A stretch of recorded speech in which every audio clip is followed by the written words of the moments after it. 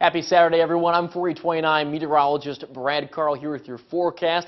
Let's take a look at your forecast uh, for this weekend. We actually saw some showers that made their way on through uh, into the overnight hours Friday and into Saturday morning. Those have already swept through the area, though, now pushed off to parts of uh, southeast Arkansas, leaving us high and dry and pretty clear for this morning. You can see here on our in-house model, we keep things that way through most of the morning hours. However, by the afternoon, we start to see another wave of clouds and eventually some showers that begin begin to move their way on through the area.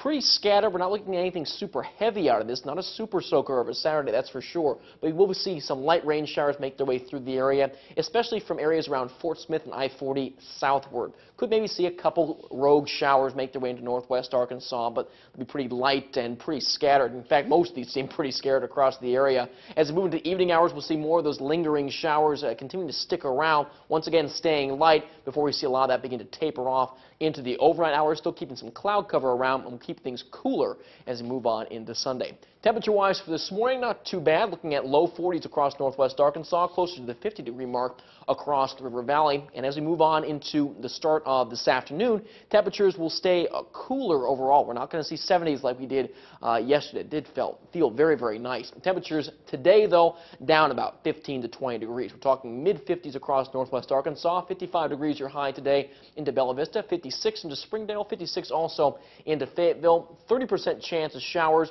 Northeast winds winds 5 to 15 miles per hour.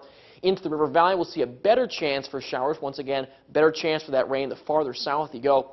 Your temperatures will be into the low 60s, 60 degrees your temperature today by this afternoon in Van Buren, 60 in Alma, 61 in Fort Smith, and 62 degrees your high today in Poteau and Leflore County. Across the Ouachitas, similar story, though probably even better chances for showers for you, especially across the Ouachitas, 60% chance there. Once again, light rain showers, those will be kicking up into this afternoon. Uh, continue to stick around through this evening before moving out and drying out overnight, and then we'll keep things dry throughout most of your Sunday. If you want more details on the forecast, including a look at this next week, you can go check that out at, uh, on 4029 starting at 8 o'clock this morning on Sunrise, or you can always check out the blog at 4029tv.com.